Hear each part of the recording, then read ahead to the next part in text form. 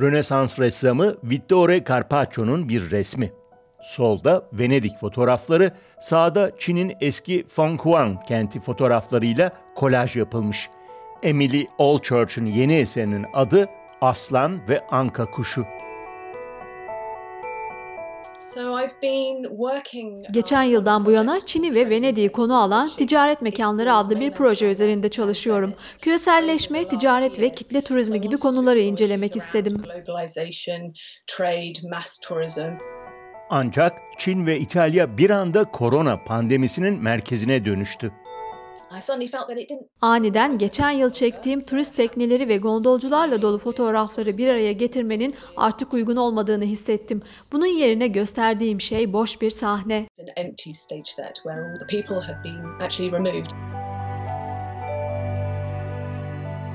Kapalı kafeler, her şey iyi olacak sloganı, boş tekneler.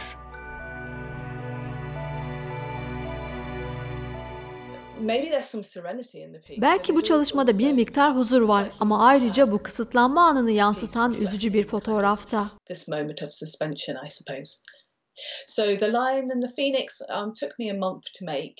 Aslan ve anka kuşunu yapmak bir ayımı tüm Mart ayını aldı ve bu Çin'in çoktan karantinaya girdiği gerçekten önemli bir andı. İtalya'da karantinaya başlıyordu ve sonunda ben kendim de İngiltere'de karantinadaydım. Bu yüzden gerçekten zamanda çok özel bir anı yakalıyor.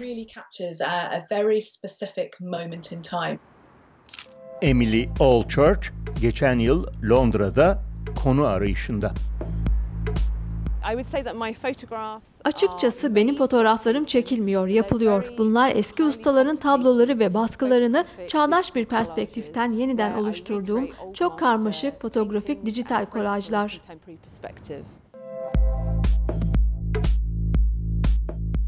Ünlü Babil Kulesi Emily Allchurch bu yeni yorumu İngiliz tarihinin önemli anlarından biri olan Brexit referandumu sonrası oluşturmuş.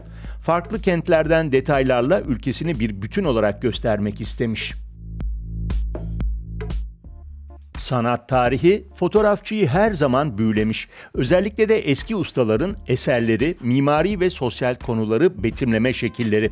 İşte İtalyan Giovanni Battista Piranesi'nin bir gravürü. All Church'un fotoğraf çalışmalarının neredeyse her biri eski bir resmin kompozisyon yapısını içeriyor.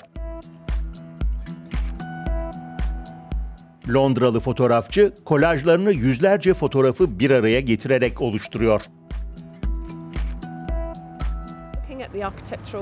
Mimari şekillere bakmak ve benzerlikler bulmak, çeşitli görüntüleri alıp son kompozisyona en uygun hangisi olduğuna bakıyorum. Dijital çalışma en uzun zaman alan iş. Emily Allchurch fotoğraf yığınları arasından ayrıntıları seçiyor.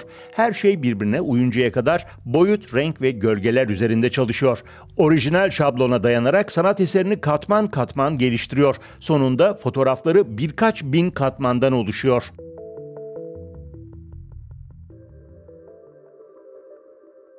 Emily Allchurch 2019 yılında Çin'i ziyaret etmiş. İngiltere Sanat Konseyi'nden aldığı burs sayesinde yeni projesi ticaret mekanları için bir fotoğraf gezisine çıkmış. Bir ayda 40 bin fotoğraf çekmiş.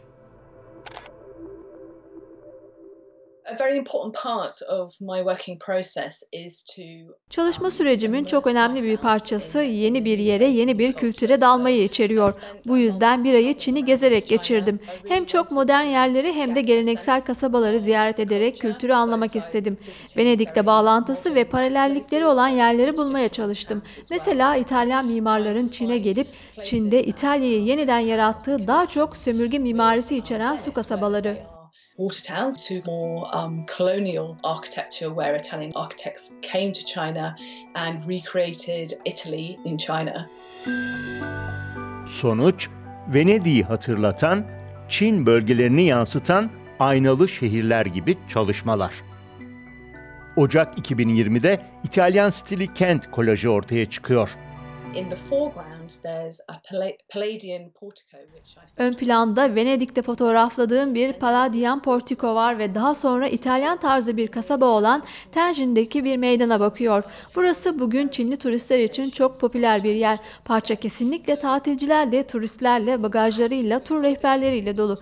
Ve şimdi tam tersine sadece 3 ay sonra geriye baktığımızda aslında oldukça nostaljik hissettiriyor. Zaman şu anda çok değişmiş durumda. Um, times have changed so much right now. Emily Allchurch geçen yıl çalışmalarını Londra Sanat Fuarı'nda sergiledi. Bu artık mümkün değil. Yeni serisinin Mart 2020'de Hong Kong'da gösterilmesi planlanıyordu. Ama sonra virüs geldi.